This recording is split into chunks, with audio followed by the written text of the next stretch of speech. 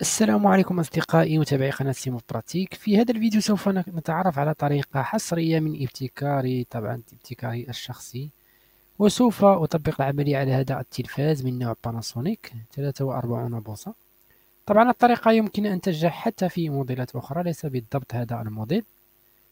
ما هي هذه الطريقة؟ هذه العملية هي عبارة عن التحكم في سطوع LED ات الشاشة قد تتساءل وتقول ما فائدة الزيادة أو نقص في سطوع الليدات؟ في الحقيقة هي عملية تفيد كثيرا في حالة كان لدينا مشكل في دائرة رفع الجهد أو ما يسمى الانفرتر الخاص بتغذية الليدات أو في حالة كانت لدينا آه، ليدات مثلا تحترق بسرعة في الشاشة أي أنك تركب ليدات جديدة وبعد مرور شهر أو أقل يرجع المشكل فتضطر إلى تبديل الليدات من جديد. بالنسبة لهذه الحالة عندي فمشكل المشكل في دائرة رفع الجهد أي أن الليدات جميعها سليمة وليس بها أي مشكل. لكن إضاءة الشاشة فهي ضعيفة. إذا لاحظتم هنا عند اشتغال التلفاز تظهر صورة غير واضحة جيدا وذلك راجع لضعف في الإنارة. إذا هنا إذا لاحظتم هنا يوجد هذا ال connector أو مدخل تغذية ال LED ات ولدينا هنا دايود ومحول إلى آخره هذا الجزء هنا خاص بتغذية ال LED ات وفي الجهة الأخرى وفي الجهة الأخرى لدينا هنا IC وقد قمت سابقا بالتعديل عليه لاحظوا قمت بإلغاء آه، الحماية على هذا ال IC قمت بإلغاء الحماية على هذا ال IC لأنه إذا ما قمت بنزع أو نزع هذا التعديل لن يشتغل لن يعطي هذا ال IC لن يعطي تغذية للل LED ات أي أن به مشكل أصلا هذا آه، الدائرة بها مشكل أو هذا ال IC.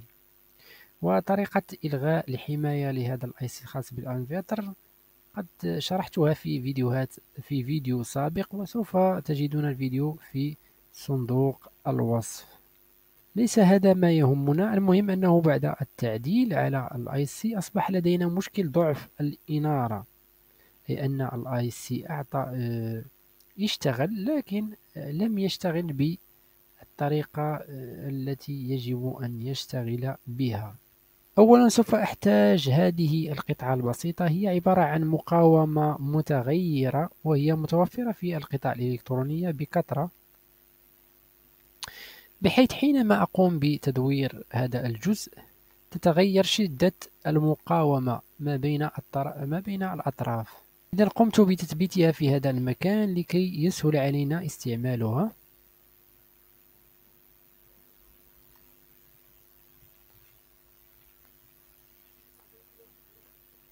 الخطوة الموالية هي أني سأقوم بتركيب طرف آه، من السلك ما بين الطرف السالب لاحظوا.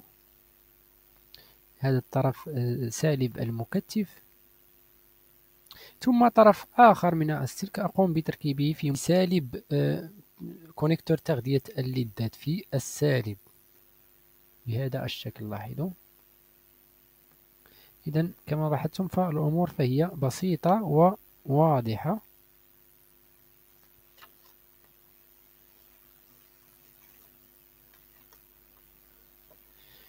إذا الطرف الأسود هو مركب في سالب المكتف والطرف الأبيض مركب في موجب الكونيكتور. أقوم بتركيبهما مباشرة أو وصلهما مع آه، طرفي المقاومة المتغيرة بهذا الشكل.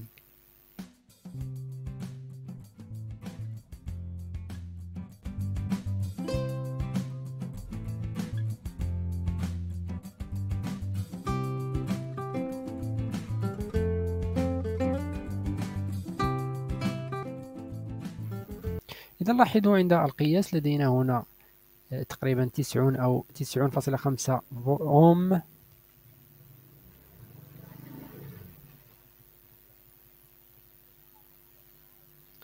إذا لاحظوا عند القياس لدينا هنا تسعون أوم. عند تدوير المقاومة تنخفض شدة المقاومة والعكس صحيح. عندما نقوم بالتدوير بالجهة الأخرى ترتفع شدة المقاومة. الآن بعد تركيب آه، كارت التغذية في مكانها أو تثبيتها في مكانها ننتظر قليلا حتى يقلع التلفاز.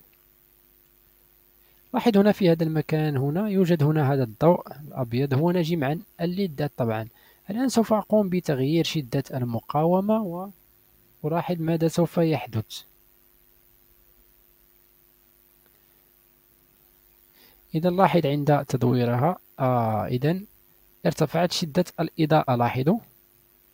وعند تدويرها في الاتجاه المعاكس تنخفض مرة أخرى الإضاءة. إذا نلاحظ مرة أخرى أنها آه، تبدو واضحة. عندما أقرب الكاميرا تنخفض لاحظ تنخفض الشدة عند التدوير. تنخفض شدة السطوع. إذا الآن لاحظ أن الصورة أصبحت آه، واضحة. هذه الصورة هنا شاهدناها في أول الفيديو. لاحظ آه، هناك فرق ما بين الصورة الأولى والصورة الثانية.